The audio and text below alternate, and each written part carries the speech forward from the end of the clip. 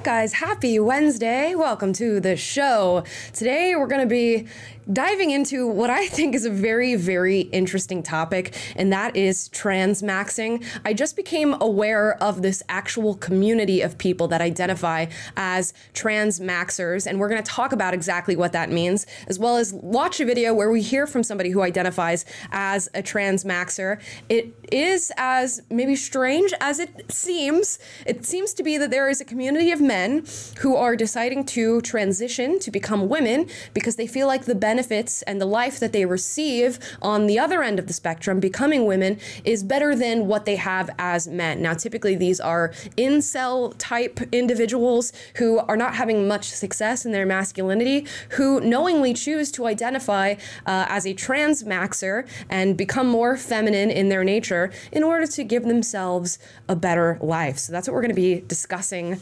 today. It's a very real thing. We've spoken about this concept on the show in more of an abstract sense. I was thinking that maybe subconsciously a lot of men were making these decisions to transition as females because you know as men the, the world can be really tough and maybe their prospects are not that great. But i didn't think we would hear from a community of guys who are actively admitting this is the reason why they're making this choice. So it's going to be very interesting. Uh, quite honestly a little sad. Uh, so we'll get into that very very soon. With that we do have taylor in nashville Hey, yeah, we were bound to arrive here eventually, but happy Wednesday to everybody. Hope you're all Wednesday maxing. And take a quick second, help us max the live stream and give us a like before we continue. Yeah, 100%. And I got to shout out uh, Abby B on Patreon, who ended up sending me this video. She thought it was an interesting subject matter that I should look into. And no doubt she was correct. This is a very interesting subject matter. So, for those of you who don't understand what transmaxing is, we're going to look at the, the suffix of that phrase really quick maxing. A lot of people are tacking the, that phrase onto words now. You've probably heard of looks max, masking, which means uh, Uh, that you are trying to make yourself look as best as you can. You want the maximum outcome that you can receive on any given endeavor. So you can throw maxing on the end of virtually any word, and it just means you're trying to achieve the maximum of whatever word you've tacked it onto. So in this case, it is men trying to get the maximum trans experience and trans look. Now, without further ado, let's get into the video. Transmaxing is a transition for personal gain. I don't want to spend 70 hours a week working. Get a personal trainer and become a true man. Well, I don't want to do all those things. It was a cold and calculated decision. Plus, you don't have to worry about like birth control or anything. You've never wore a dress. And let me go ahead and warn uh, for language and talk of sexuality and sex and things of that nature. So if you're not yet ready to hear conversations about that, not yet old enough to hear conversations surrounding that, this might not be uh, the video for you. No. And does your boyfriend know about the trans maxing? This removes testosterone. You should potentially change your sex just to get cheaper car insurance. In this episode of Life Uncovered, I'm entering the controversial world of transmaxing. What is transmaxing? Well, according to the Transmaxing Manifesto, it's when a man transitions to become a woman, not because they identify as a woman, but because they think life as a woman is just better, and they want all the apparent benefits of being a woman and operating in female spaces. The Transmaxer Manifesto walks men through all the positives of female life, such as cheaper car insurance. I'm on my way to spend a few days with Sammy, who started their transmaxing journey a little over a year ago. So Sammy identifies as a transmaxer. The idea is that Sammy didn't have much luck in relationships in love as a man. The kind of transmaxing ideology has told them that if they transition to a woman, they'll have a lot more success. So Sammy is kind of very much into that transition and has agreed to talk to me about it. Okay, so let's pause and talk about that. Um, this does seem to be particularly, I guess, pervasive within incel type communities. And these are men that don't feel particularly masculine. Uh, they don't feel as though women are attracted to them. They're not particularly good at, you know, getting laid, for, for lack of a better word. And they're thinking, you know, if I transition to be a woman, or at least appear uh, female in nature, I'm going to have a better time at things. And oddly, they are correct. And it does seem to be the case that uh, things do get better. Now, it depends on what you mean by better. I can see how this could be a very misogynistic view uh, this idea that women sort of have life on easy mode. So if you're a man who's not doing too well, go ahead and transition to be a woman. But I have a very strong feeling in listening to this video and looking through some of the manifesto, which I did uh, look through and I will pull up for you guys at some point during this episode, that a lot of this has to do with getting laid essentially. This is I, this seems to be the backbone of the idea here and that incels obviously do not have that opportunity presented to them in their you know present state and they feel as though transitioning to be a woman is going to fast track them down that ra- road. And for a lot of them that actually works out. But let's keep let's keep watching. It is undeniably a controversial topic, potentially the most controversial one of this Life Uncovered series. How you doing, Sammy? I'm Ben. Nice to meet you. Really nice to meet you. Should we go for a little stroll? I like this place. Got a nice little spot. A tiny fridge. Yeah, I got all the essentials. Can I see what's in the fridge? Um, probably fuck all, but Let's see. Moment of truth. I've got some cakes in there. You're, you're a big fan of AA batteries. yeah, yeah, you need a lot because I, you know, game quite a bit. Can you pull out the pre-transition clothes just so I can have a look? sure. This is old Sammy. Flannel Yeah. shirt. Yeah, pretty basic, not not too flashy. This is me when I was 20. Uh, hair is starting to recede a little bit. Not a great time in my life. I wouldn't look at that and think, yeah, that is a masculine dude. When I saw this picture, it's like, yeah, I need to do something about my appearance. What did you think a man was at this point? Dominant, successful, outgoing, confident, strong, resilient. How did you think you sat in relation to that? I was a far cry from that. I would take a lot of work to even get uh, close to that. I'm looking at that and I'm like, yeah, you look like a guy. I look like a guy, but I don't look like a manly guy. Would you say that your life w- was slightly incel-esque? Sure, yeah, yeah, um, somewhat isolated. Could you get up the kind of transmaxing manifesto? The transmaxing Yeah, manifesto? I, I'm sure I can find it. Yeah, let's pause before we get there. Um, interestingly enough, you know, I can empathize with this person quite a bit. It feels probably not great at all to be a, a guy who is not receiving any attention, is not perceived to be super masculine in a world where you're competing with other masculine men towards uh, a very specific goal, and that is uh, to be loved, to get sex, to get all these different things. And if you can't uh, achieve that, I can see where somebody might want to take uh, the shortcut of switching up their identity and fast tracking that process. I'd argue that there are other things that you could do in your male form that would make you far more successful with women and far more successful as far as being perceived as masculine. Now, it takes a little bit of time. It does take time to, you know, like eat healthy and work out and work on your social anxieties and things that don't do too well when you're in, in, in social settings.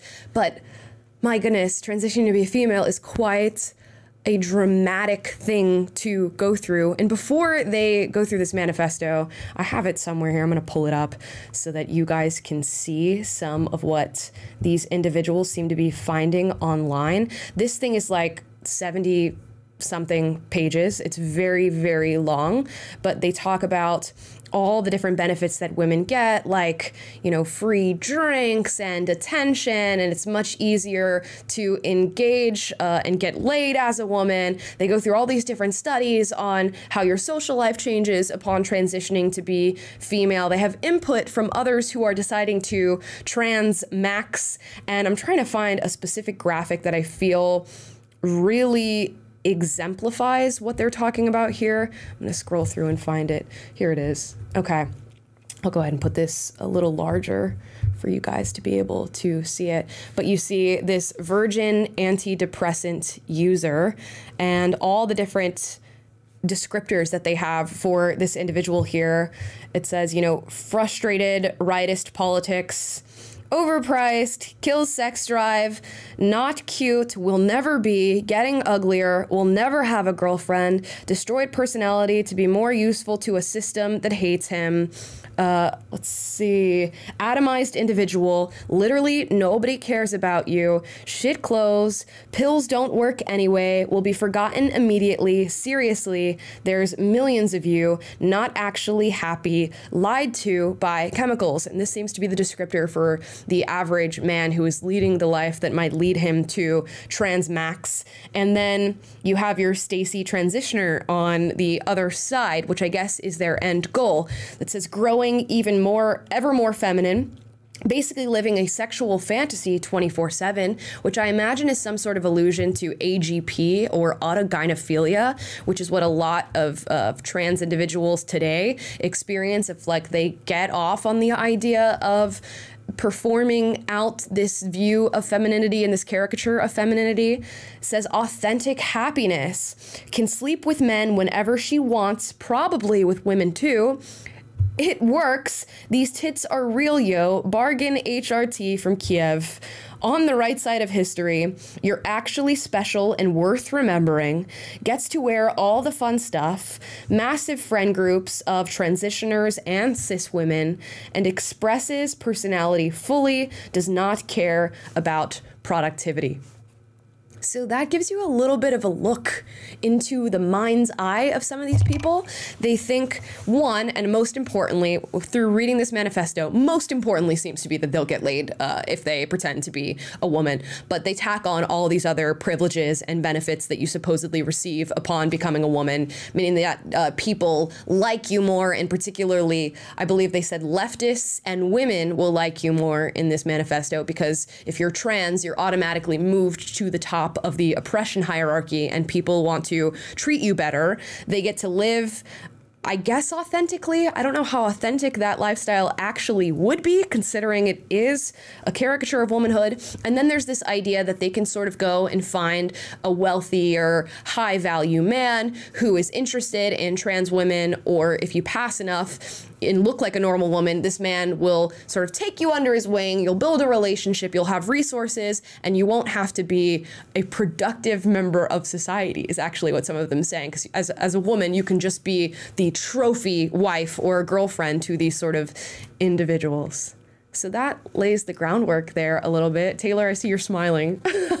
well, yeah, I guess it's like a laugh to keep from crying situation because it is really it is really sad. And like um, one that stuck out to me is on page two. There's basically like a step by step process of how to try to uh, imagine yourself as a woman, how to transition basically, but to do so even though you don't feel attracted to men, even though you never thought of yourself as a woman before. It's like giving you all these weird like animes and and things to watch uh, that and instructions on like how to imagine yourself as a woman while watching certain kinds of pornography or different things like that to try to get off to that. And just the the, the layers uh, go deeper and deeper. And some of the the instructions that they give are just very uh, disturbing. And all of this is like it, it feels like a, an advertising effort uh, on behalf of the appropriation of womanhood. And it's like, hey guys, if you're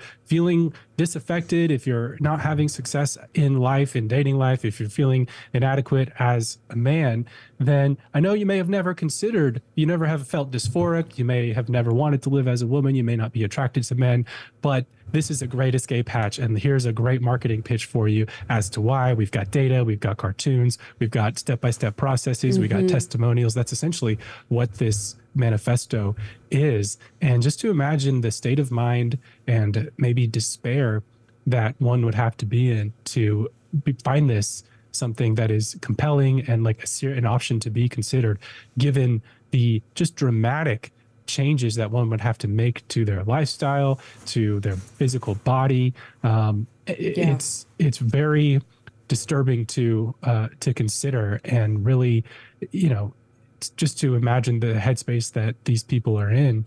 It, it uh, you do feel a, a lot of uh, a lot of pity and sadness mm-hmm. for them, and but that also doesn't justify like some of the negative uh, you know, you, I think we'll hear that this how this doesn't. They, they say this doesn't really affect other people, but we can get into how it would be affecting you know women's spaces and um, the appropriation of womanhood in general. But I guess we'll save that for for the reaction. But yeah, those are just my initial thoughts looking at the manifesto. Yeah, hundred percent. You know, you feel bad for these guys. Obviously, I think like uh, it, it t- makes total sense how they're using their thinking to get to the result of transmaxing. If you're an incel, pretty much you are disliked or looked down upon from all members of society, all sides of the political aisle, uh, and I'm sure there's a lot of bullying and harshness, and then social anxiety and all this different stuff. And maybe this seems like an easier way out, but we'll watch more and see if that's actually the case.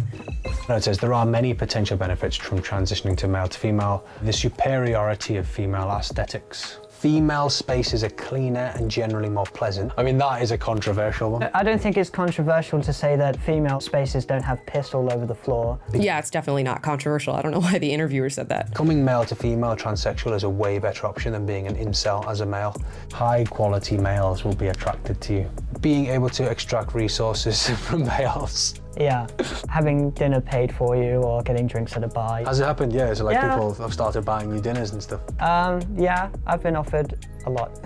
Really? yeah, yeah. Okay, like And there are a lot of uh, very successful men who are into that stuff. Uh, let's make that clear because I know a lot of people maybe in the comments are saying they're not going to get men this way. They do. There are people who are very much into this sort of thing in their dating and in their personal lives, and uh, they will uh, fork out cash for it. this one says and get cheaper car insurance. You should take every advantage given to you. You should potentially change your sex just to get cheaper car insurance or I, I don't think that's a primary reason to transition, but it's definitely a secondary reason. it's got a kind of testimonial, the experience of becoming female. I was only 5'8 and I had a 2.7 inch erect penis. Since being on the hormones, I've lost weight, so I'm closer to 5'7 now. I've been on estrogen for six months. So what do you think of changing your sex because you have a 2.7 inch erect penis and you're not that tall? I think that's pretty reasonable. So it's better to just disregard the penis altogether. You're, you're not going to please a woman with a 2.7 inch penis. One day when I Yikes. Yeah, I mean, these people have a interesting lot in life. I just don't like that it's not acknowledged that there are so many other things you can do before transitioning to become a woman that will help you tremendously. And it is sort of this defeatist attitude um, on like behalf of the people that make this choice that there are not way more reasonable, way more logical things that you can do that are not misogynistic, that are not, you know, affecting other people in the way you live, although they don't think that they're affecting other people in the way they live. And, you know, completely sort of bending and muddying the waters when it comes to sex and gender, whichever terminology you want to use there. It's interesting to say the least. I mean, you know, some people do desire that. desire what? Um, an extreme, uh, intense sexual experience. All right, so I've just stepped out for a second, and I've got to say that manifesto is one of the wildest things I've read in a long time. You know, this is a group of people who identify as male, um, saying that they are effectively kind of playing the system. You know, they are transitioning because they think life as a woman is easier. They think they're going to get males who they can take the resources from. They think they might be able to get cheaper car insurance. And it just feels like something that is really going to anger kind of a lot of people. Oh, hello. Wowzers. So this is as masculine as it gets. Yeah. How do you mm. feel? And I don't know, kind of bland. does it feel less comfortable? I just don't really feel much about it. Just watching this video. This is on your laptop. Voice feminization. Yeah. voice training was probably the last thing that I did. So, so your voice did used to be different. Yeah. Like what? I mean, I'll, I'll try, but yeah. I c so it should sound like this. Just normal, bland. yeah, a little bit deeper, I guess. Yeah. And then do your new voice. Um, it kind of sounds like this. It's just like higher. What have your family said about it all? I don't explicitly present in front of my dad, and then I'm not in contact with my mother. How much do you think kind of not having a hugely close relationship with your parent played a part in the kind of eventual decision? Yeah, I am, you know, a bolder person and a more confident person because, you know, no one showed me how to be. This video. I mean, uh, it's tough. There's a lot going on here. I'm trying to think. The, the, the vocal feminization, it's all littered throughout the, the manifesto that you find online. That one of the first things you do, although this person chose to do it last, is to sort of train in vocal feminization. And there's YouTube tutorials and all this different stuff you can get. I believe there's even surgeries that you can undergo for vocal feminization out there now. You can tell in this individual's energy that they're very uh, self-deprecating. They look down on themselves a lot. You know, said this is as masculine as it gets. You know, my voice was just so bland and you know nothing to it, and just had a normal voice. I mean, there's so many things that you could do. Again, before making this uh, transitional choice. But again, they're getting exactly what they want out of the transition, which is to immediately be ushered into a group of people that is uh, liked, for lack of a better word, but like treated more softly, whereas incels aren't really treated that softly. They have an automatic thing that makes them uh, interesting or unique and sets them apart from other people, and they can engage sexually with people who are into this new identity by sort of just like slapping on a, dress and, and feminizing the voice a little bit.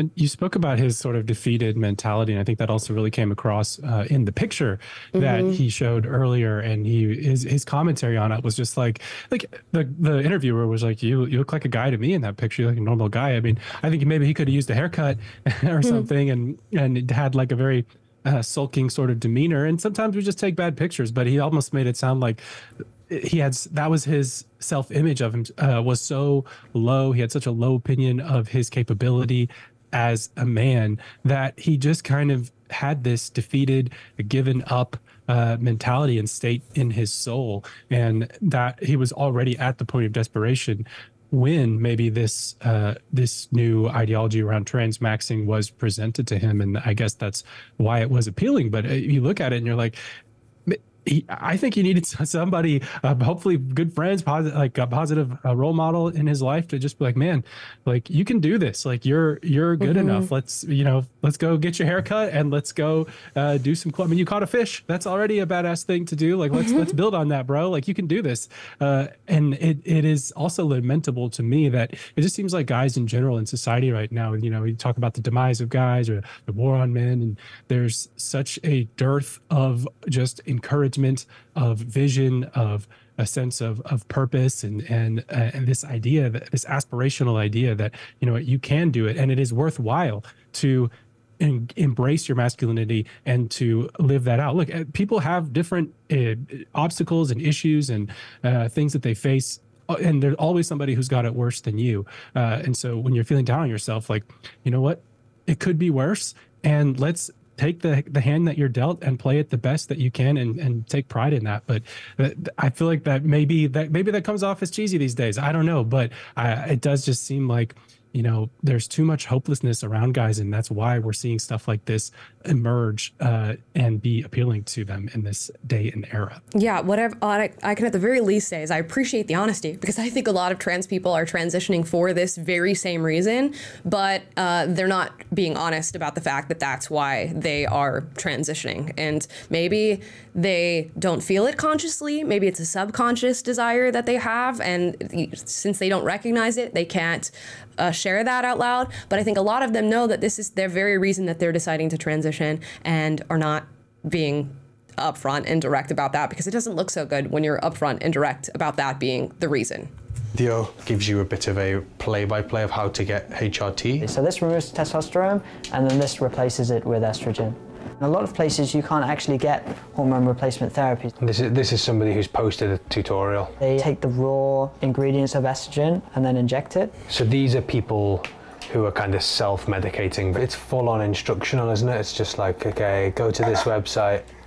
Here's how you do it. Here's how much you take. That's kind of why I came to the Discord is to find resources on um, treatment. Someone's actually asking on this forum, forum, how do I get it without my parents' consent? Yeah, And the person says, just buy it and be stealth about getting the packages. What do you think of that? Um, I think that there, it's good that there's like a support network. Some parents can be very um, unaccepting and they will go out of their ways to make their children's lives hell just because of their gender expression and gender identity. This is such an interesting phenomenon because it points out like so many different things about uh, just life and our current society and how sick we are as a society that this is the result. And I feel really bad for individuals who feel like they need to go this far in altering themselves in order to achieve their end goal. But it also really emphasizes the role of the internet in current life. These men are feeling disaffected, disenfranchised, people are not interested in them. And there was a time where you could not just go to the internet and sit all day and talk to people through a screen. You really had to go out and face the world. You had to go to school. You had to get a job. You had to meet with other people. And, you know, whether that was an anxious process or not, there was sort of a, a forceful energy pushing you toward an end where you had really no choice uh, as to whether or not to engage with it. But when you're feeling these things now and you're venturing into inceldom and all these different things, you can just turn to the internet. And the internet and the algorithms on these social media platforms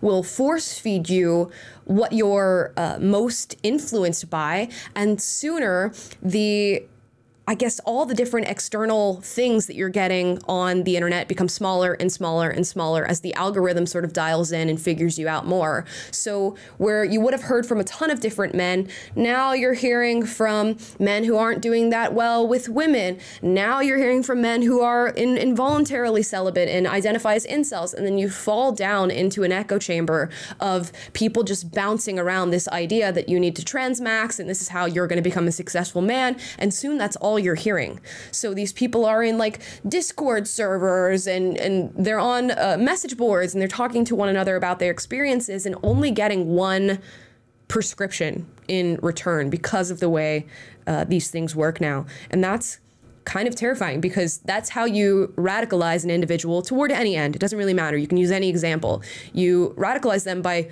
completely surrounding them with people who are in the exact same boat who have a certain message and a certain end goal with them, and they'll just continue to encourage them. And once you start, you know, at some point, uh, you know, there are a few who turn back and detransition. But I believe there are a lot of trans people who start the process, maybe start feeling regrets or, or think this is not the choice for them, but they've gone so far into the progress that they just decide to uh, to continue uh, through through no other choice. One reason Sammy and other transmaxers often transition is to find love. Sammy felt they were much more attractive presenting as a woman than a man, and it's kinda worked. Sammy now has a boyfriend called Ross. Tonight is date night, and we're off to buy Sammy's first dress and get a makeover. Yeah, one of the reasons, it's the main reason. I'm calling it now. It is the main reason. And they're calling it love, but I think on an even more basic level, it is sex. That is the reason that men are deciding to transition in this way. It'll be the most feminine Ross has ever seen them. This one's quite nice, bit of belly top action going on. Yeah, yeah. Quite simple. I like the style, not necessarily the colour though. Where did you meet your boyfriend? Um, we, we met online. Would you say you're in love? uh, I say that's way too early to say. You know, I don't really know how to feel about this. Although it is like um, slimming, and you do get to see a bit of skin. Um, you do see a bit of my rib cage there. How do you feel him seeing you in a dress? There's um, a nervousness. If I'm showing off my bulge, yeah, I think that's too much. Well, I don't want to be seen as a man wearing feminine clothes. I want to be seen as a feminine person wearing feminine clothes. This is the moment of truth. Oh, that's nice. I like that. Yeah, I'm gonna go with this one. It's quite a big moment, really, isn't it? Because you've never wore a dress. No, but um, to be fair, this kind of opened the door. Maybe, maybe I might try a few more. Have you had like a kind of full makeup job? I mean, I haven't had it professionally done, but um, you know, there's a first for everything. Hello, Karine. Pleasure pleasure Thank you, you, so much. Can you show me the eye makeup which you like to achieve something, later? Something mm -hmm. subtle, but mm -hmm. enough to make a statement. Mm -hmm. Try to uh, feminize my features just a little bit more. Could you explain to Karine the kind of concept of transmaxing?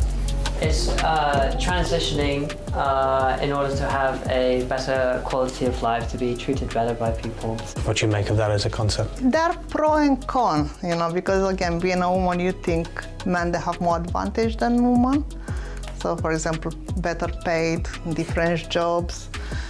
Some jobs only men they can do. Women they're like, oh, you are a woman, you shouldn't. So so very interesting to hear like the feminist perspective or the modern day feminist perspective of like men do have it easier than women. Why would you want to transition to be uh, a woman when you already born in an advantageous body? and then to hear from the trans max community who's saying it's so much easier to be a woman. I'm going to be treated better, which is just a veneer for sex again. But I'm gonna go in and take on the life of a woman because I'll get all I'll get easy street essentially. It's so and both are wrong, and it's just uh, so wild that this is the world we live in. Do you think life's easier as a woman, Corinne? it depends, like fully woman. When you give birth, when you are going Yeah, to yeah. all that. As a transmaxer, you don't have to necessarily worry about those things, so you get all of Yeah, the but you benefits. see, you took only the you take only the good parts. Wow, there we go. How are you feeling? Yeah, I'm feeling great. So this is your first time wearing a dress. Yeah. Yeah, as well as lashes, yeah. Let's go see your boyfriend. Yeah. Give him the reveal. Thank you so much, Karina. More than welcome. All right. It's interesting that he actively admits he is not experiencing gender dysphoria. So this is not like a, a diagnosable mental illness. He is just logically working his way to the idea that he should transition to be a woman. Very interesting. It's well, dinner time it is. That's a freaking massive rabbit, isn't it? Bloody hell. I didn't even know you could keep rabbits like that. Do you have any candles or anything? Kind of set the scene. Yeah, I have a candle. Did you date men prior to identifying as more feminine? Yeah, I just hadn't really explored my sexuality truly till like till I entered university. But has it got easier now that you're more feminine looking? Oh, definitely, yeah. And does your boyfriend know about the transmaxing? Um, you can ask him.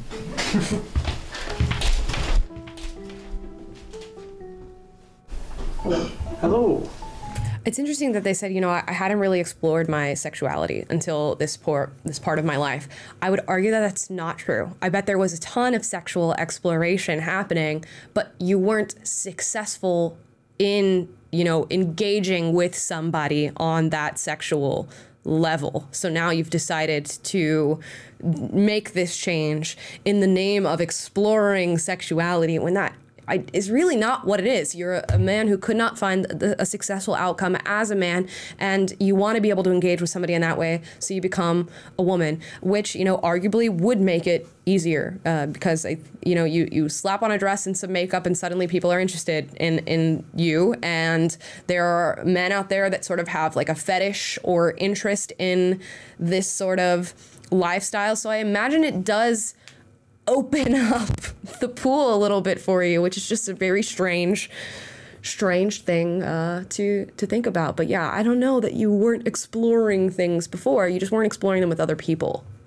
Yeah, and I see some of y'all in the chat saying, "See, we get it. He's gay. He's gay." And I, he didn't answer that in a straightforward manner. Usually, when someone's gay, they they say like, "I've I knew I was gay," and they're very straightforward and open about that fact. And uh, I just again recall the way the manifesto was like, "You might be a straight dude, and you may have never considered uh, or been attracted to men." Or considered gender dysphoria, like you're saying, but we're still trying to sell you on this lifestyle because it is y- your way to a kind of sexual fulfillment, and you can train yourself to become fulfilled uh, sexually by this path that we're laying before you with the transmaxing. So Yeah. I, I don't think he necessarily was gay. Me neither. Uh, he, he- yeah, he just was started. He was unfulfilled and felt like he or unsuccessful, and uh, found this as his solution. Because even as he's trying dresses on and things like that, he he has this sort of numbness about himself as far as like, oh, I, he's not like, oh, I feel so pretty or anything. It's just kind of like, it's, it's, there's this level of detachment. And uh, for him it's like he's got the momentum of going down this transmaxing path.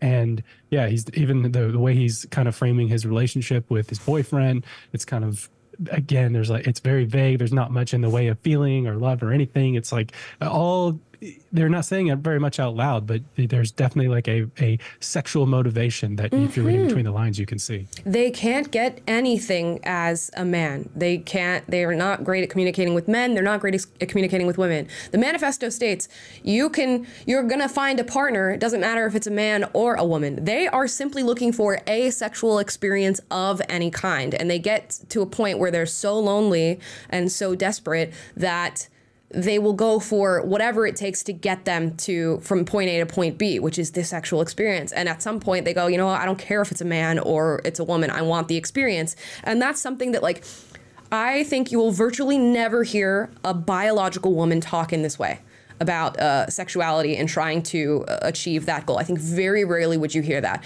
I think women want companionship and affection, and they will go down whatever route it takes to find companionship and affection, which involves, you know, settling for toxic relationships. If they're not too good at communicating with men, they will try with women, or they will like masculinize their features and then, you know, try to get a woman and all these different things. But they're more looking for affection, love, companionship.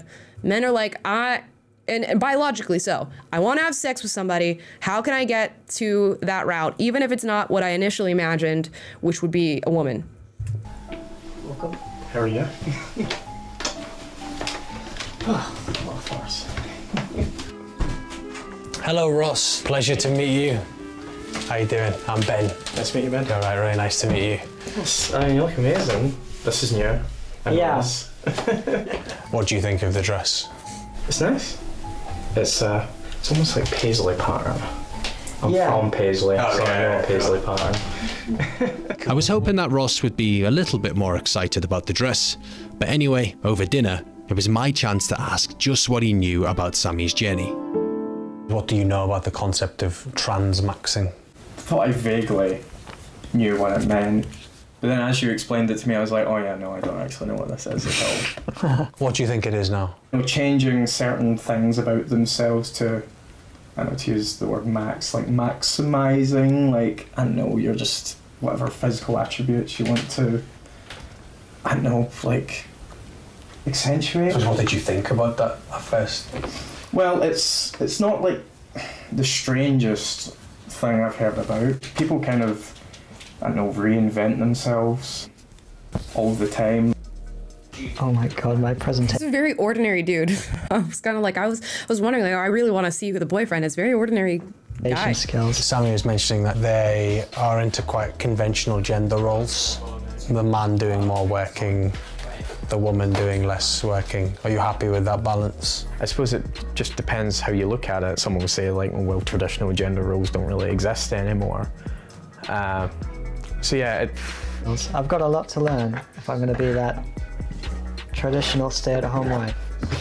So I guess the, the idea of kind of transmaxing, one of them seems to be that women have an easier life. right. Do you ascribe to that concept? I think maybe in some situations, yes, probably more more towards like kind of social situations. It's a con- controversial concept that women have it easier because obviously that's often quite the opposite. What do you think of This interviewer is coming in with too much of his own bias here, and it's somewhat irritating. Like in the questions, like we could be going so much deeper into these concepts and truly allowing them to elaborate on their spaces, but because he feels his own sense of personal bias when it comes to the lives that women lead and the lives that men lead, he feels the need to like shut down what he's saying. Well, that's often not true. You know, women do have women do have harder lives in many respects. Chill out ask him to elaborate on what he means by women having it better socially and get a, a, point of view that you know to the audience might make them understand this decision a little better or at least get a broader scope of why somebody would decide to go down this path. And what he said is most definitely correct. There are social situations in which men, well, women wholly benefit. We are pedestalized. We're uh, protected in a lot of ways. We get a lot of free stuff. Uh, you know people of uh, both uh, genders and sexes want to socialize with us some for different reasons. You know a lot of men just want to socialize with women in order to uh, you know get laid and all this different stuff but it, it, can be a nicer and softer life when you are living as a female. Now, the other side of that is there's a, a, a lot to lose in becoming a woman. And there's a lot of different dynamics that are suddenly in your life that you didn't have to deal with before as uh, a man. You have, you know, safety concerns. There's a little bit of paranoia in that other people are much stronger than you. But these transmaxing individuals don't really have to worry about that, I guess, until the hormones run their run their total course. So I can c- totally understand and empathize with the fact that somebody is making this decision. I just question whether or not the decision is the correct one. And in my opinion, it's not. But damn, the interviewer needs to allow them to share so that people can understand.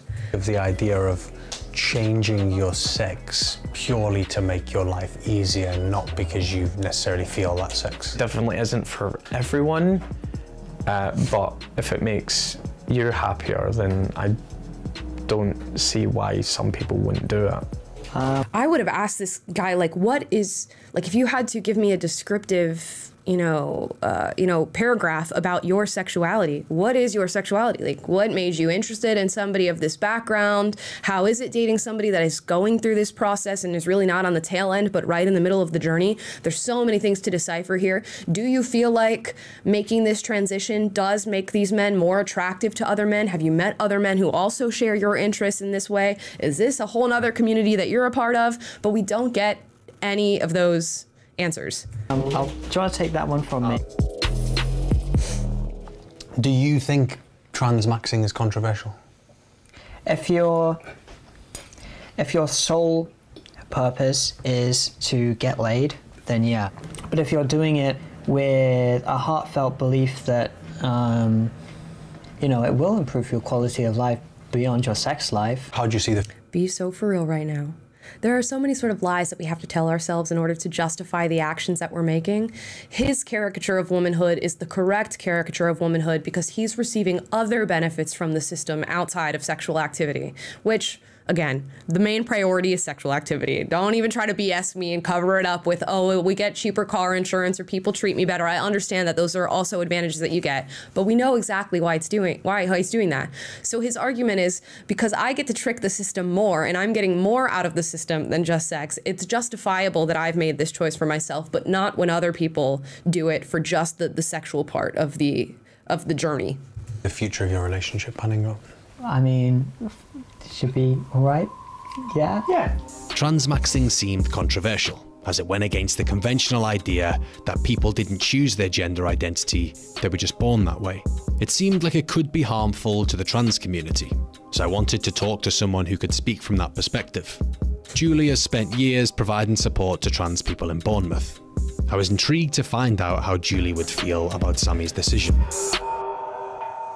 So now he's trying to place Sammy in the hot seat to get what he believes to be an actual trans person, whatever that means, to confront Sammy. Uh, when really, if we look subconsciously, the choices are very much the same, whether or not you are experiencing uh, gender dysphoria or not. Arguably, it is worse to be experiencing uh, gender dysphoria and probably, you know, a, a very tough journey. And I can understand what you have to grapple with and why somebody might make the decision to transition. But I can also understand from Sammy's point of view as a disaffected male why he would make the very same choice.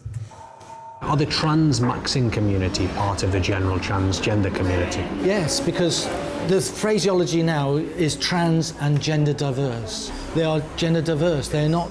Their gender isn't the binary man or woman. It's somewhere in between. So then if you read the kind of transmaxing manifesto, one of the potential tenets and benefits is to be able to kind of acquire the resources of a male counterpart. Is that the right reasoning to kind of transition? A lot of um, female-bodied people do that. They don't need transmaxing to do it. They will look for a partner that has got lots of money um, because they want that security. That's a, that's a legitimate reason to transition. a lot of female people who get up in the morning look dreadful, but they'll put on an awful lot of makeup and a lot of nice clothes such that they can be attracted to the person who drives the Rolls Royce. And another um, aspect of the kind He's not wrong. So he's just saying, you know, two can play that game. I'm just going to add the extra layer of also pretending to be a woman. The uh, manifesto seems to say that a benefit of becoming trans a transmaxer is to get diversity hires. What do you think of this? Um, you know, the question is why not? Who are you, who are you hurting, and which laws are you breaking by adjusting your presentation such that you get a good job. The question is though, Mm, well, I have a ton of uh, questions to ask there. Which bathroom are you going into? Which part of the spa are you going into? When you play sports, which team are you playing on? Which prison are you going to? How do you define a man and a woman? There's this idea that, oh, we're not affecting anybody by making this choice. You very much are. Uh, and uh, social convention exists for a reason. And there's so many things that these people are not getting pushback on because they're viewed as marginalized parts of society. So, yeah, people are affected. So is that a legitimate reason to transition? It's quite major processes for something that isn't because you necessarily feel as though you want to present as a woman, it's because you want to get ahead. If you're using the system and playing that system to your advantage, that is to be respected. But do you think women are gen- respected to utilize a system to your advantage is a strong word. I can understand people being, you know, like I understand it. You know, when uh, Trump said, uh, you know, I just utilize the tax system to my advantage, and that's how things work uh, for me. There's an element of, okay, yeah, you found your loopholes, you found ways to do that. That's fine. I understand uh, what you're saying. But to go as far as to say, and that should be respected, is a very bold and audacious thing to say. I'm not going to respect the fact that you found some sort of loophole that gets you sexual engagement and free drinks at the bar and free dinner dates and a high value man, whatever that means in this scenario. I, I'm not going to extend respect to you because you found a way to sort of cheat the system as it stands. Nope. No, thank you. or generally just treated better? No, no, a lot of women. No, um, there's a lot of uh, misogyny is is still rife. Having said that, Misogyny is still rife, says the man who chose to take on the identity of women because it is easier to be a woman. And his view of the identity of women is a soft voice, a wig, makeup, and feminine clothes. clothes. But misogyny is, is rife within the world. Whew. Isn't it ironic? Don't you think? there are uh, certain local advantages to being a woman. Someone talks to you more nicely. One of the reasons why they talk to you nicely is because they want to get in your knickers. That's a fact. That's, that's what the blokes do. There is definitely an argument that the idea that people are saying, I'm choosing to do this not because I feel like I am a woman or uh, but I'm doing it because I just think life will be easier. A lot of people will be put off by that and they'll go, Well you're just trying to cheat the system. You're not, the thing is, you, A, you're not breaking the law, and B, you're not hurting anybody. So I've just finished with Julie and Sammy and I'll be We've already discussed hurt and, you know, how that is not a correct characterization, but meeting up again with Sammy soon, but that was surprising. I thought Julie would have a real issue with theirs. I thought they'd have a problem with Sammy's motivations, um, but it felt like Julie kind of saw this as just part of Sammy's journey and whatever they choose to describe it as, as long as it makes them happier, that's kind of the goal. And I kind of understand that, but then you know, the reality is they're doing this for what a lot of people would say are really kind of problematic, kind of calculated reasons. So, yeah, it's a difficult one. I mean, a question I have at this point is, you know, maybe Sammy is just going through a transition and this is how they've chosen to deal with it. So he's trying to justify in his brain that this man's choice and saying, well, maybe he truly is experiencing gender dysphoria, and that is what makes up for the transition, as if that makes it any better. Now, I would argue that, like in extreme, extreme cases of gender dysphoria, where the person sees no other options, they are, you know, hurting themselves, they're, you know, getting hormones at the black off the black market. Maybe there is some, uh, you know, reason to allow them to uh, socially transition. And of course, everybody's allowed so long as you're an adult. And I'm not uh, advocating that we change that in any way, shape, or form.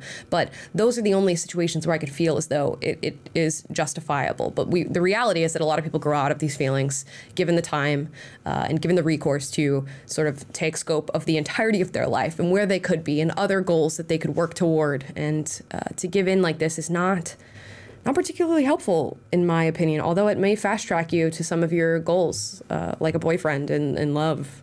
Do you think you could see yourself coming here full bikini, full, you know, out to the world? Um, yeah, in Uh, six to 12 months' time, definitely. What will happen in that time? Um, my, the effects of my hormones will have feminized my body, and I could uh, pull off a bikini without people thinking otherwise, for the most part. Will you identify as a woman, do you think? Um, I don't think so, but I'm I may change that in like the coming years. So, so you see yourself going forward, yeah, potentially changing your your sex so- legally to a woman. Yeah, yeah, just so then I can claim the same, um, you know, benefits of being a legal woman. Yeah. So in a year's time, I could see you on this beach with a passport that says you're a woman. Yeah, that could be very likely. How will you feel at that moment? Um, like my mission's complete. There you go. All right, so after two days of filming with Sammy, I can say I'm only more confused than I was at the start. You know, on the one hand, I can see that Sammy's someone who's kind of really struggling with their identity and the sexuality, and transmaxing has given them like a guide on how to deal with all that. But on the other hand, the actual kind of manifesto of it all is problematic. You know, I personally don't know how to take it. There you go. I mean, it's all problematic. Let's be honest. You know, in all the different forms that this can take place, it's all problematic. Uh, I said earlier, I at least I appreciate the honesty of the underlying motivations you have for making a choice like this, and the transmaxing manifesto does exist. You guys can look it up on the internet. I know Taylor was talking about some of the steps that you can take in order to trans max they're here it involves like watching certain you know japanese cartoons and animes banking your sperm starting hormone replacement therapy removal of unwanted hair facial feminization surgery social transition doing voice training there's a lot of different things that uh, people are taking on here as a last resort you can try sissy hypno porn i have no idea what that is. And I don't want to know. I don't want to know what that is. Uh, but yeah, so that's transmaxing for you. And there's an entire community of people who are knowingly making this choice and going down that path. So yeah, any final thoughts, Taylor? Yeah, I guess it's interesting to me that you know he, the the trans expert that the journalist uh, brought in at toward the end of the documentary seemed to have a particular view of transmaxing sort of already and was already kind of on board with that. But I imagine there's got to be trans activists out there who would consider this, you know, not being the right motivation if they consider gender dysphoria to be the basis for uh, th- that's what you know makes trans identity something that is an essential part of your identity. That's typically where the argument stems from and and why it is used as a justification for creating laws and policies that say like you can't discriminate against this person because it's a part of their essential identity. When it, the manifesto is a mission guide and he said i would consider my mission accomplished if i could get the passport that says i'm a female legally. He didn't say i'll feel like my true self because that's not his motivation. And it's just interesting to me that like i even as we're watching watching this i'm seeing in the chat uh someone was saying like this show like y'all reacting to this the way you're talking about it is transphobic. But i would almost argue that uh what he's doing the transmaxers are appropriating not just appropriating womanhood but appropriating genuine transness if we're to say that that's a that's a real thing. Uh, so it's crazy that the layers just keep getting deeper here and yet the umbrella is so wide and we're so open-minded to all this stuff and we're so quick to affirm any kind of sexual proclivity or gender identity or what have you that there, let's just accept all of this and put it all in the same bucket. And of course that continues to add to the layers of problems that are manifesting themselves socially with you know women's spaces and things like that.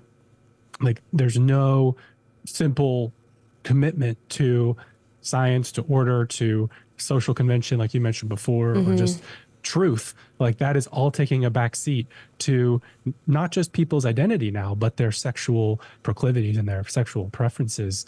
And it's a disturbing reality in the world in which we live. And it seems like we're living in a time where the will slash you know resources culturally to assert reality and assert truth in the face of this stuff is uh, also at an all-time low and we're just this is the encroachment that we're seeing in the face of that Yeah, and there's going to be more of this. I mean, the more incels that you create, or um, um, you could argue don't create, just the it just pops up in the world kind of naturally now, given how like sick our society is with social media and diet and socialization and all these different things. Uh, the more incels you have, the more transmaxers you're going to have. I think people are going to come to this logical conclusion. I'll put that in air quotes that uh, becoming a woman is going to be what is most beneficial to them. And this manifesto has all these sort of uh, testimonials and things. Like, look at these; these are pretty like I mean, those transitions are doing pretty well. Like that looks like a whole. That's I mean. It's a marketing woman. pamphlet. Yep, Yeah. it is a marketing pamphlet. Yeah, this whole thing. I mean, look at this one. That's like you know a very solid transition if those photos are actually you know true to the testimonials there. You would if you go from you know the, these guys to these women, arguably you're gonna have more success if sexuality is what you are looking for. Um, uh, there's no doubt. I just don't think this is the way to uh, to go about things. But again, there's gonna be more of this because this is like the the stuff that our society is creating. And now we're gonna hear from you guys do super chats. So let's hear from you on transmaxing. Yes, indeed. All right, Timothy W is our first one today. He says, This is disturbing. The amount of rejection these men must have faced for them to reach this point is unbelievably heartbreaking. Please stop hating men. Yeah, I mean, I don't know. Uh, some of it, it's got to be rejection. I think a lot of it is actually being so overwhelmed by the prospect of, by the idea of even trying that you don't even try. Like these people are, uh, many of them just in their house all day. This guy says, you know, I didn't have a great relationship with my parents, so I was never taught how to be confident, how to be masculine, how to even. So if you are never even equipped with those tools in the first place, I think a lot of these individuals are never even trying to uh, go and talk to women because they don't want the possible rejection that lies on the other end of that, which rejection is a natural part of life.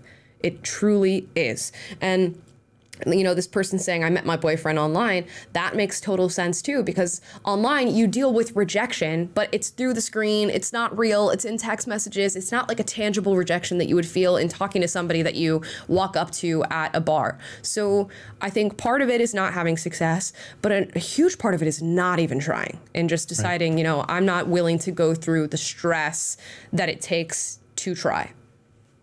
Yeah, and in a lot of ways, it's like, why would you try? If what you value most and if what you're we're kind of conditioned now to believe culturally in this day and age where we elevate sex and sexuality to such a high place in our value structure when that is the the prime thing that you are seeking for in your life then why would you try to go out and get everything you can out of your identity in the gender or the body or whatever that you were given. Why you know historically there was that was more of a motivational thing is like i i believe in myself. I'm i am made to become something i have the potential as a human to create to uh to embrace my life and maximize a life max you know and uh, within the the reality of the the body and the life that you're given whatever that means. And and there you know it feels like the sort of call or the motivation to do that just generally has diminished. And we've also elevated just sex and sexuality to this like you know prime position and so if you have a shortcut to get what you want sexually uh even if it means giving up like your true self uh then or burying that like then why why wouldn't you and uh, it's just the sad state of affairs uh, in in our society right now Yeah, dude, I feel bad for these guys. It's tough Yeah. to not be viewed as attractive to other people. It's tough to be rejected by women. It is tough to not feel love in your personal life when that is basically the point of being a human being is to like build community and relationships and have companionship and love. And when you don't have that, I can't even begin to imagine how devastating and lonely that feels and like to have to wake up to that to that idea every single day and to that life every single day, I imagine that people would take very drastic measures to not have that be the reality anymore. And this is just this just happens to be one of them. Uh, Don't be a Huberman says, Hey, gang, I wouldn't go through all that transitioning nonsense, but another option that is much cheaper is those Apple Vision Pros, hopefully soon. Oh gosh, yeah. Get your VR baddie girlfriend and your AI sex robot um, in what 2030, I guess, is probably when that stuff is gonna be, if it's not already available.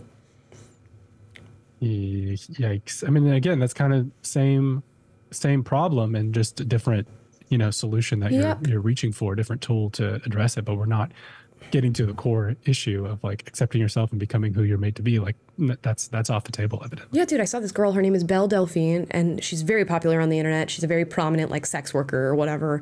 And I, she's probably one of the most, I guess, financially successful sex workers on the internet. She went viral for selling her bathwater to men who were buying it uh, for thousands upon thousands of dollars.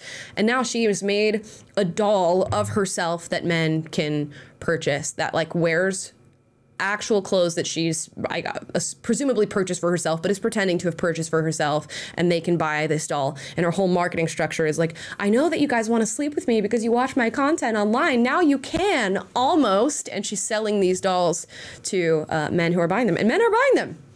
So uh, you know, what am I? Who am I to say? What Send you the do? asteroid, as we say. Yeah.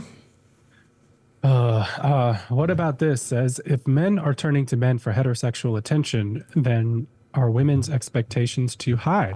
I see this as a supply and demand symptom. It's rough out there.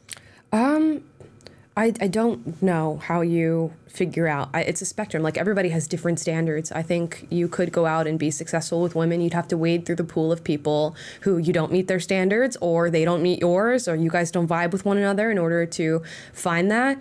Um, I do think sexuality is far more flexible than a lot of people get it give it credit and when you are in a stage of desperation you will go for whatever will like appease you in that moment. And sometimes that's a man sometimes that's a woman. Sometimes you get you can't get women so you settle for men. And i think a lot of that is happening in today's day and age. A lot.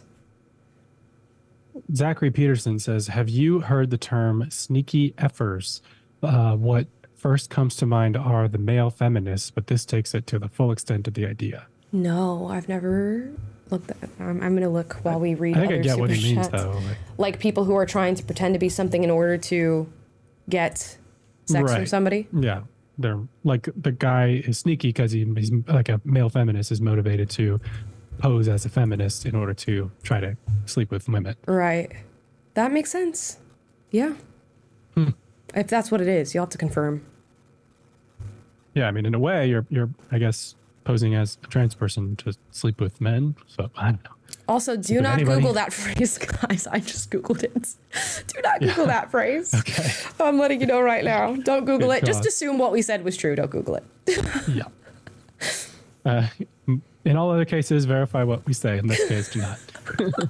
Derek B says, please interview Kellie-Jay Keen and Mr. Minnow. Uh, he has amazing parody songs like the Puberty Blocker song, YMCA, Y Chromosome song, etc. I've never heard of the second guy. I have definitely heard of Kellie-Jay Keen, and I would definitely be interested in uh, interviewing Kellie-Jay Keen at some point down the line. Maybe we will make that happen. It's a good suggestion.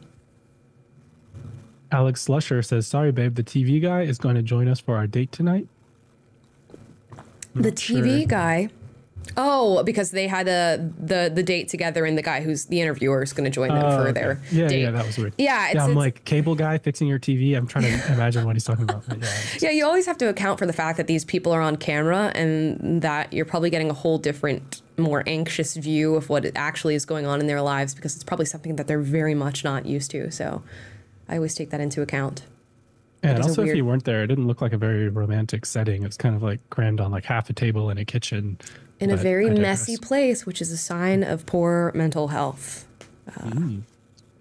Um, Don't Be Huberman says, Amala, you should watch Monday's episode of Fresh and Fit. Myron shows who Daisy uh, really is. I mean, Jin Chen really is. She's done a lot of stuff over in China. She's a felon. I mean, I, I think none of that changes his reaction to finding out that he got a woman who he was engaging with on multiple occasions and stating, uh, claiming to love that he got her pregnant and was, uh, you know, particularly irresponsible in his actions and not ready to take accountability for somebody who claims that he, they want accountability for uh, both men and women. So, I mean, she could be a prostitute who's been arrested on 10 different occasions for prostituting herself in China or whatever, you know, comes out about her. Doesn't change what was happening within uh, their dynamic and their relationship.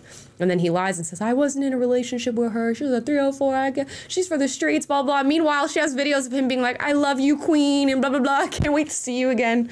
Uh uh They're both little dummies.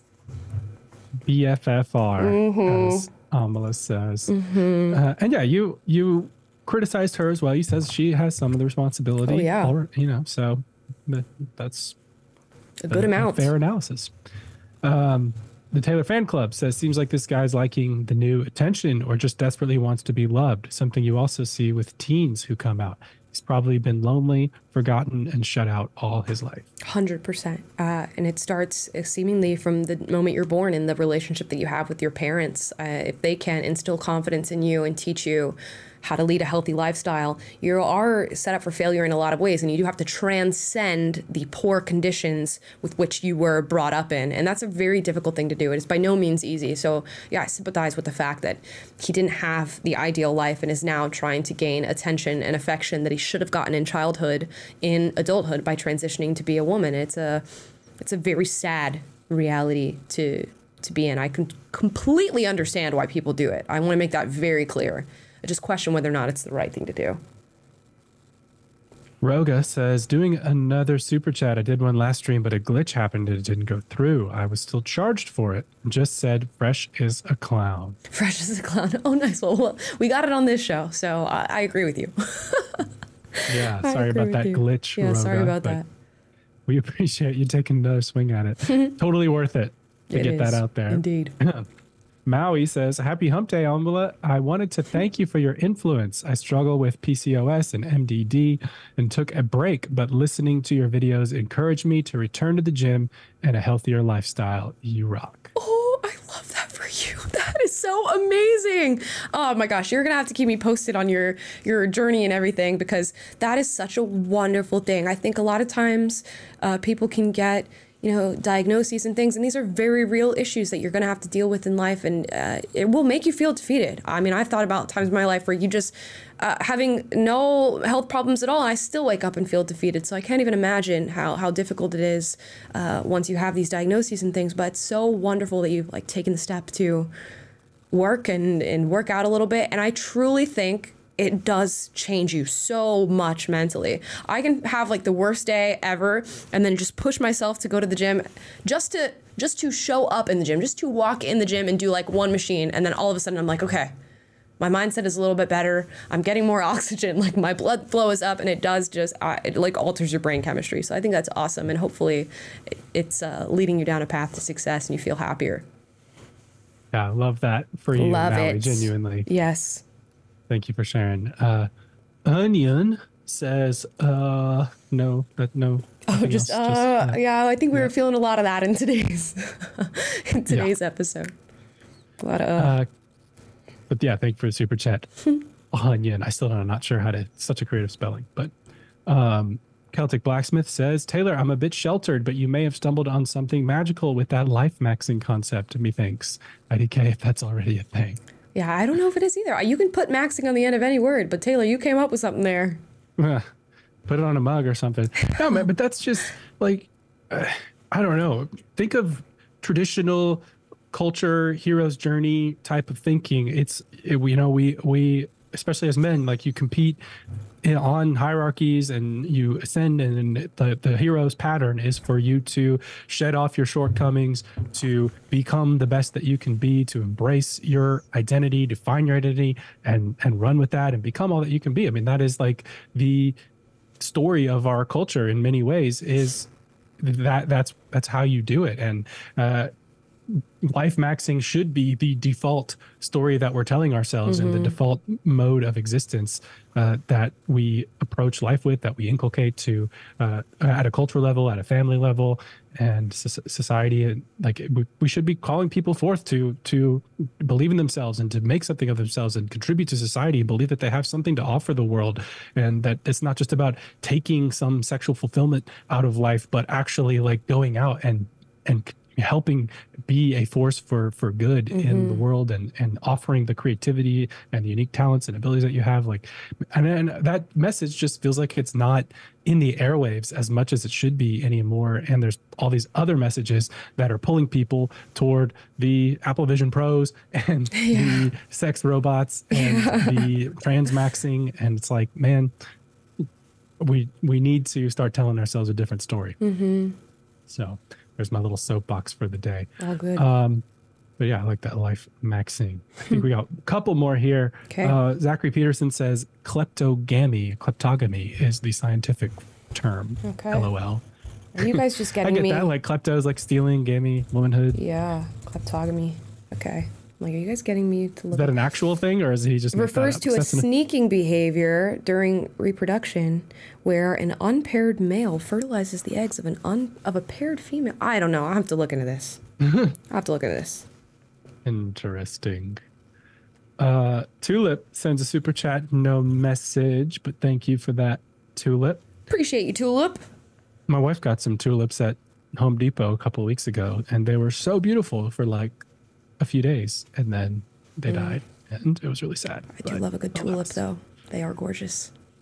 Quasakule says polarization of any kind is a poison. Socialization certainly gets you that state. Sometimes one needs more than words of comfort; they need actions. Oh yeah, it's a combination of a, of a lot of things. Um, I mean, we, we mustn't forget how powerful words are and how powerful the absence of certain words are. I think uh, you know, looking at this kid Sammy, if as a kid he was told, you know, you were born in in the right body and you were at the very least born in the body that you were given and you have the opportunity to make something really special out of this and you can be successful so long as we you know strategize and uh, commit to certain actions and, and work towards our, our goals. And it's unfortunate that it, it sounds like he never got that.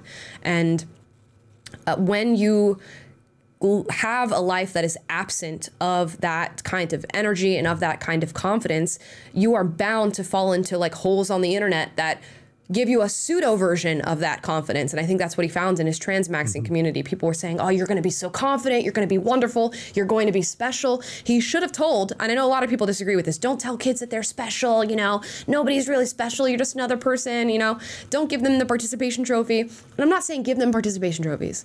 I'm just saying kids do need to know that the way that they were born is good and they can do great things and achieve more and, and make something special of themselves. And when you don't teach a kid that, it's like it just hate creates self-hatred and loneliness and they end up finding that feeling from people who are giving them the totally wrong message in tandem with it. Hundred percent. I think affirmation is is so huge in a child's development. Mm-hmm. And I, as you're talking, and and uh, with what Quasakule said about like one needs more than words of comfort; they need actions. I think one, yeah, you need parents and and people who will like not just say those things, but demonstrate that they believe in you to the extent that you can internalize that belief with with their actions. But also, um, it's part of the role like archetypally of a father to kind of push you out of the nest a little bit and to uh, make you do things that are uncomfortable at the time um, but they teach you to have confidence in yourself and believe that you can deal with the unknown and confront challenges and overcome them in the future. And that is that actions that you're talking about like it's that's very important in the development of young people as well to be pushed and pushed out of their comfort zone. Like talk about cognitive behavioral therapy how do you overcome phobias and things like that? Like it's exposure to the thing Yeah. that gives you fear. And, and in, not in the way to where it traumatizes you but to where you can incrementally get to a place where you overcome that little by little. And that is part of human development that uh, is normative that that should it should happen that way and that's how you build strong people resilient people resilient children. And we live in a society now where it's all about safety and it's all about you know affirm mm-hmm. like like shallow affirmation mm-hmm. not and and just saying like you're okay just the way you are. Any desire that you have needs to be immediately you know fulfilled and, and coddled upon and all of that. And there's nothing that's no one's ever told no and no one's ever told you need to get out there and like man up and just go and do something. And it's and i feel like that's just creating a, a general weak-mindedness but also like a sense of of inadequacy and purposelessness. And, and that is also why we have so much despair. And again people are turning to shortcuts uh, because they're not they don't have the inner fortitude or the will to go out there and make something of themselves. Yeah. 100%. It's not about the participation trophy and giving it to them. It's about like, okay, we lost this game, bud, but we're going to work towards making ourselves better and incrementally we're going to just you know, uh, learn new skills and new tools to make ourselves better the next time we show up and you are still valuable as a human being Yep. even though you didn't win this thing that uh, you know, somebody else got the trophy for. And then we move on and we forge ahead. win or learn as they say Yep. Uh, Dale says a lot of what I'm seeing in the culture tells me we as a society need to be doing a better job supporting and guiding boys. A lot of what we're talking about, yeah. Yeah, a hundred percent. Boys, girls, uh, people, we need to do much better and tailoring the way we guide them to Hey. their sex. Tailor. yeah, we have to tailor the way that we guide boys and girls, and largely it's going to be very similar. We want to raise them with the same values and principles, but there are just different aspects of being a boy and different aspects of being a girl that we need to acknowledge and and spread so that they can grow in a healthy in a healthy way. Hundred percent. Um, la- last one that I see from Quasm Kule says, "I call forth a movement, Amala maxing, get more based, more nuanced, have a charming laugh, better yourself constantly. Have a nice day, You y'all." guys are so nice. Amala maxing. Gosh, that is hilarious. I appreciate the the compliment, and I'm glad that you are uh, apparently gaining something from listening to the show and hearing what we got to say. So I one more. appreciate it. Oh, go ahead. Yeah, no, that's all it. That's it. Okay. Now, one more to go out on. Simple, easy question. Amala Mm-hmm. Taylor, what's your zodiac? I'm a Gemini. I don't know what that means, but I'm a Gemini. I know I'm I'm a Leo, but I don't know what that means either. Okay. Um, But hopefully that gave you some information. there's your answer. We did You get can- another one. Yeah, read into that what you will. Uh, yeah, look, L- Lale- Laleshka Klog says, uh, thanks, Amala, for being the voice of many young adults like me who thank you. uh, is also biracial. And I don't know this first flag. Is that Polish and German? Or what's the red? I'm not sure. Red flag. You'll have to let us know down in the below. Uh, quick question. Do you think Dylan Mulvaney could be considered a transmax? Dylan mocks to be a woman and profits it. You know i can't uh, i can't give somebody their label but if i was you know thinking i think a lot of of trans people not all of them are trans maxers um, and they're either doing it subconsciously or consciously without admitting it and i think dylan mulvaney could fall into that category um, not just because they have benefited from being a woman uh, because i don't think that's what purely qualifies you as a trans maxer it just seems to be like you know in the body language and in some of the things that are said that that could be either a subconscious i could be charitable and say a subconscious motivation for dylan. And not to yeah not to also like armchair psychoanalyze too much but you could kind of observe through like dylan's appearances on price is right before he transitioned and things like that there's this very seeming uh, need deep need for attention and uh, so I think where the Transmaxer what that we watched today was motivated more probably by the sex element. Maybe for Dylan there was the tra- the attention element that was kind of motivating him, and that was his path to maxing. So yeah, yeah. there Someone said go. Taylor's an INTJ and Amala's an INTP. That's I, I'm INTJ. Are you? I, i thought it was entj okay. I don't know. My sister, my sister, one time took a personality quiz with her friends, and apparently, after you take the personality quiz on some of these websites, they'll give you like celebrities and public figures who have your very same uh, personality traits. And mine was on there. I was like, "Whoa, I, I, I made it! I'm on a personality quiz like website." But it was the totally wrong profile for my personality, and I don't know how they. I think they just estimate based on like your videos and people who know you inserting what they think your personality is. It was completely wrong. So if you found that online, uh, there's a ton of just misinformation about my uh, personality. But I think I'm ENTJ. I think, which is th- the campaigner. Funnily enough, I, I get the campaigner uh, one. I don't know if that matches up, but that is my. And uh, I'm I'm the more introverted version of uh, ENTJ, the, the INTJ, but I'm like right on the middle of, of introvert extrovert. Uh, There but that- we that's really funny. Yeah. Um, and by the way, Leleshka is Peruvian and German. Ah, so Peruvian and German. So she's question. she's mixed mixed masking, uh, maxing. That's what somebody said in the comments down below. Uh, Me and Amal are maxing, mixed maxing. Love it. Okay, guys, that's today's show. I hope it was an interesting topic. It was certainly interesting for me. Uh, you guys can check out more about transmaxing. There's a ton of videos online. There's an entire manifesto if you guys are interested to that degree that you can go and read. And let me know your thoughts in the comments down below after the stream. I'd love to hear from you guys, especially those that disagree with me. I saw a few of you in the chat saying, "Oh, Melissa's a TERF. Oh, Melissa's a transphobe." Let me know what you think about transmaxing down below. Would love to hear from you. If you like this video, like, subscribe, click the notification bell to be notified every single time we're live. That's Monday, Wednesday, Friday, 1 p.m. Pacific, 3 p.m. Central, 4 p.m. Eastern. Plus, we post videos for you guys every single day. Tomorrow's video is about soft guy era. Men who are responding to girls who want a soft girl life by saying, now we're in our soft guy era. They want the women to pay for things. If she wanted to, she would. They want the women to pay for the first date and Venmo them for their cologne that they're buying at the mall. It's very real. You guys have to check out that video. It's definitely going to be an interesting one, and I can't wait for you guys to see it. And with that, I hope you have a fantastic rest of your Wednesday. And if nobody tells you you're adequate and valuable today, let me tell you you're adequate and valuable, and you can do great things. And on that, I will bid you adieu. Bye, guys.